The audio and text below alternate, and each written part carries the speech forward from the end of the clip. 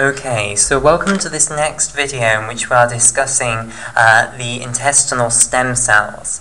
Okay, so we're currently discussing the Wnt beta-catenin pathway because we want to understand how this pathway is going to maintain these intestinal stem cells in the stem cell, stem cell state. Okay, uh, so we have just discussed the off state of the Wnt beta-catenin pathway, which is when there is no Wnt present in the extracellular fluid. We've seen that normally there is this beta-catenin destruction complex assembled um, which is going to phosphorylate beta-catenin proteins once they've been produced, and this phosphorylation allows another enzyme to bind to them, known as the beta-TRCP enzyme, which will then ubiquitinate these beta-catenin proteins, which will then be targeted for degradation by the proteasome. Okay, right, so what we now want to see is the on state of the Wnt beta-catenin pathway okay, um, which is when there is going to be Wnt present in the extracellular fluid and it will be activating our frizzled receptor and our LRP5-6 receptor. So let's draw this here.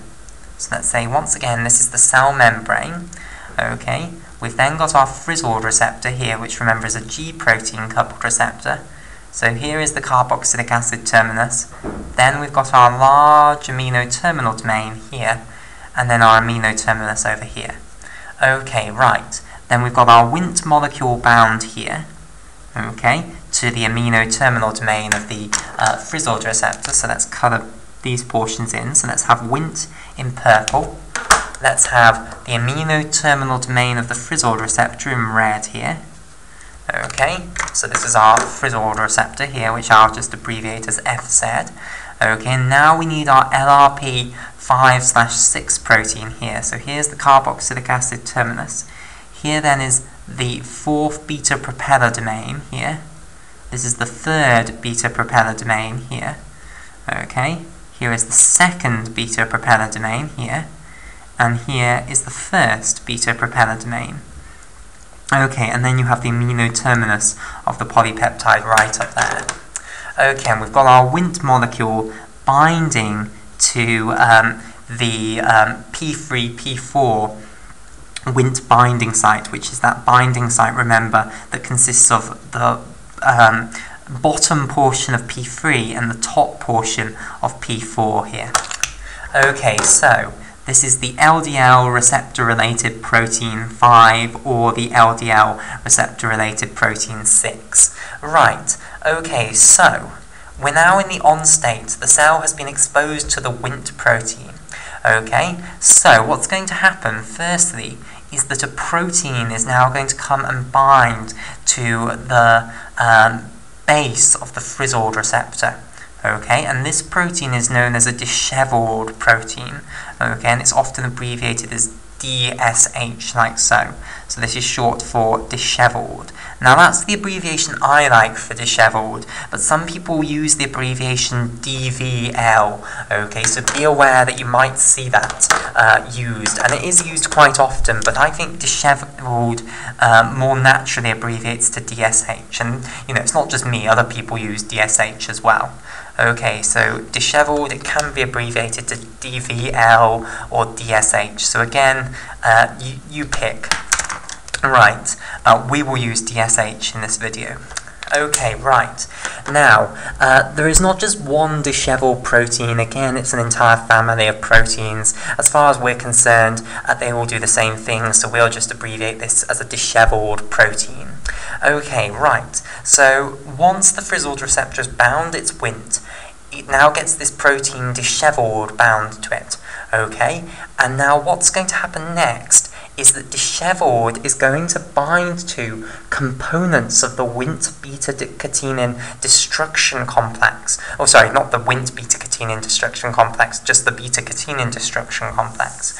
So remember, the beta-catenin destruction complex consisted of an axin protein, an APC protein, a glycogen synthase kinase 3 beta enzyme, and a casein kinase 1 alpha uh, enzyme. So basically, the basic idea of how we're going to turn the Wnt beta-catenin pathway on is we're going to inactivate the beta-catenin destruction complexes. And the way we're going to do this is by uh, binding components of the beta-catenin destruction complex to the disheveled protein, which those components now will not be able to be part of a beta-catenin destruction complex. So basically, disheveled is going to bind to axin proteins. Okay, so here's an axin protein, and this axin protein will still have bound to it a casein kinase 1 alpha enzyme and also a glycogen synthase kinase 3 beta enzyme. Okay, so in orange here, this is our axin protein, which is binding to disheveled now. Okay, so this is axin. And then we've got the two enzymes here. One of them is casein kinase 1 alpha, which remember binds to axin. Okay, and the other is glycogen synthase kinase 3 beta. Now the adenomatous polyposis coli protein is not here, note. Okay, so it's just axin with the two enzymes, with glycogen synthase kinase 3 beta here in green, and uh, casein kinase 1 alpha, CK1 alpha here. Okay, right, so that is firstly um, going to now reduce the number of beta-catenin destruction complexes which are present in the cytoplasm. Okay, because we are now isolating components of the beta-catenin destruction complex by binding them to the disheveled proteins, okay, which have been activated by binding to the frizzled receptor. Okay, so the beta-catenin destruction complexes are going to go down in the cytoplasm. They're therefore no longer going to phosphorylate beta-catenin proteins, which means that the beta-catenin proteins won't be able to bind to the beta TRCP and therefore won't be ubiquitinated by beta TRCP and therefore won't be destroyed, so they survive basically. Now, not only that, we haven't finished yet. This is actually going to have a positive feedback loop, and let me show you how. Okay, we are going to bind more components of the beta-catenin destruction complex to this structure here. Okay, so what's going to happen basically is glycogen synthase kinase 3 beta here is now going to phosphorylate the LRP5 or the LRP6 protein's cytoplasmic tail. Okay, so because we brought GSK3 beta very close to the cytoplasmic tail of LRP5-6, it now phosphorylates uh, that residues within that tail. Okay, and now the phosphorylated cytoplasmic tail of LRP5-6 is capable of binding to more components of the um, beta-catenin destruction complex. Specifically, it's now capable of binding to axin. Okay, so here is axin, the scaffold protein, and the axin can bind to glycogen synthase kinase 3 beta. Okay, so we'll also have a glycogen synthase kinase 3 beta bound here. Okay, uh, so casein kinase 1 alpha doesn't seem to be being a part of that. Um, so the phosphorylated cytoplasmic tail of LRP5 6 seems capable of sequestering axin as well as glycogen synthase kinase 3 beta here. Okay, but those are certainly two components of the uh, beta-catenin destruction complex sequestered.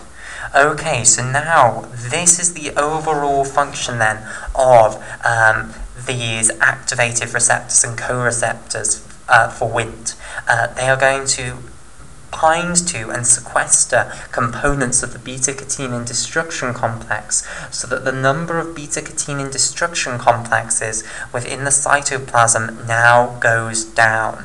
So you don't phosphorylate beta-catenin and therefore you don't destroy beta-catenin. So what's going to now happen is beta-catenin proteins that are being produced all the time by the translational machinery of the cell are actually going to get to survive. So, here we have beta-catenin proteins. So this is what is happening within these stem cells, these intestinal stem cells that remain within the stem cell niche.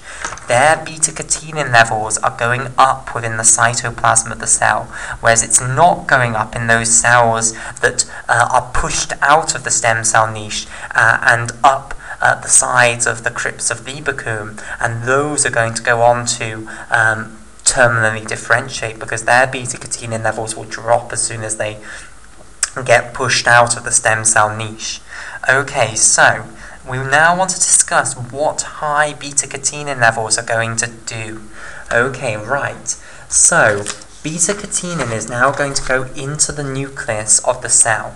Okay, so let's just draw a little picture here. Here is the cell, here is the nucleus. Beta-catenin is going to go from the cytoplasm into the nucleus. So everything we've been talking about so far has been happening in the cytoplasm, now we're transferring into the nucleus. Now, once again, it is better to step back now okay? Because we have seen what happens in the Wnt beta-catenin pathway when it's in the off state. Um, we've seen what happens in the cytoplasm. We now need to take a step back and look at what happens in the nucleus when it's in the off state. So once again, before talking about the beta-catenin, um, Wnt beta-catenin pathway in the on state, we need to firstly talk about the off state. So I want to now discuss what is happening within the nucleus of the cell when there is no beta-catenin in the nucleus. Okay, and then we'll move on to what happens in the nucleus of the cell when there is beta-catenin in the nucleus. Okay, right. So, let's discuss what um, happens in the nucleus when beta-catenin is low. Okay, so we've got no beta-catenin in the nucleus, let's say we now need to discuss something called the TCF-LEF transcription factors. Okay, so this is a family of transcription factors. So in order to discuss this family of transcription factors, I firstly want to discuss with you what a transcription factor actually is to make sure we're all on the same page with regards to this. And then we'll specifically discuss this family of transcription factors, and I will tell you what TCF and LEF stands for in a moment. Okay, so firstly, what is a transcription factor?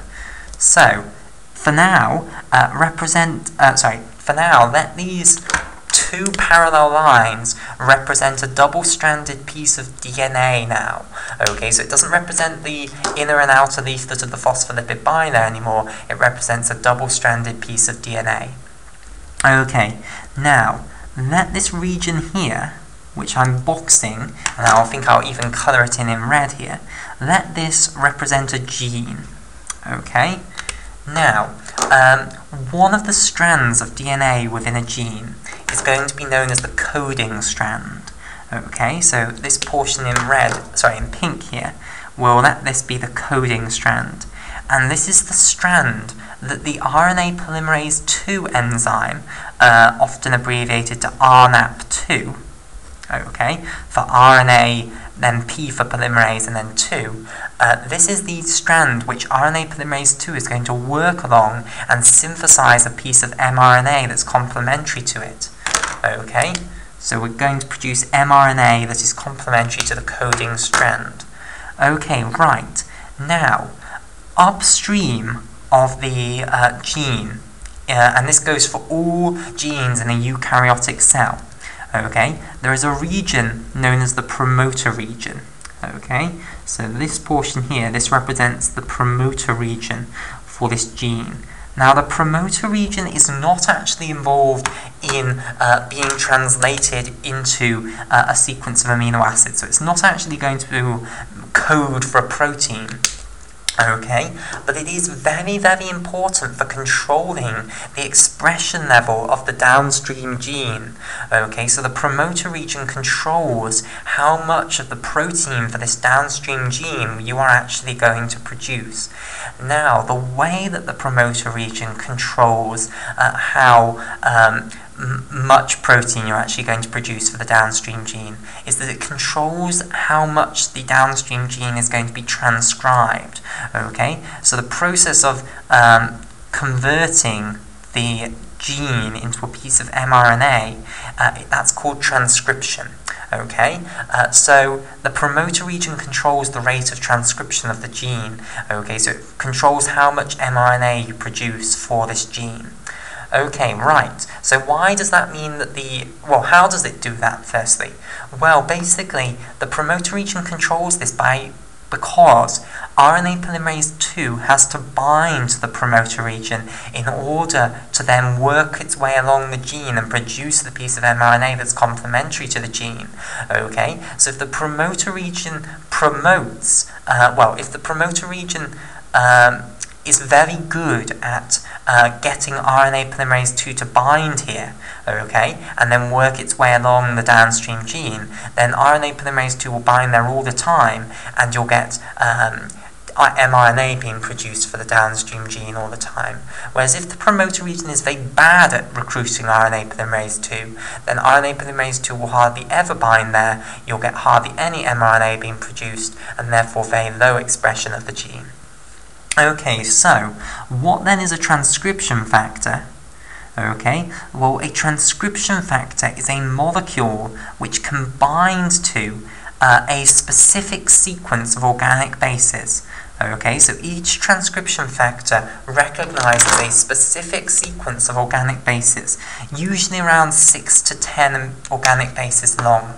Okay, and uh, this transcription factor will bind to this sequence, okay, and this sequence of 6 to 10 organic bases known as the recognition sequence for that transcription factor. Uh, this will be found in the promoter regions of a huge number of different genes. Okay, so transcription factors therefore bind to these recognition sequences in a whole plethora of different promoter regions. Okay, and what that transcription factor then does is it changes the um, ability of the promoter region to uh, recruit the RNA polymerase II. Okay, so it changes the likelihood that the downstream gene is going to be transcribed basically, and there are many different ways it can change the likelihood that the downstream gene is going to be transcribed. We will see some mechanisms uh, in this video.